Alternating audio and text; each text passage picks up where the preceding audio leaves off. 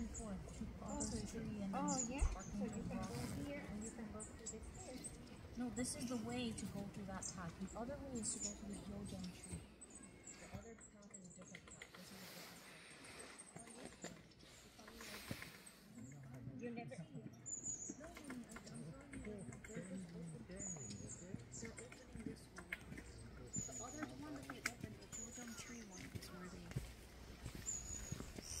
where they opened already.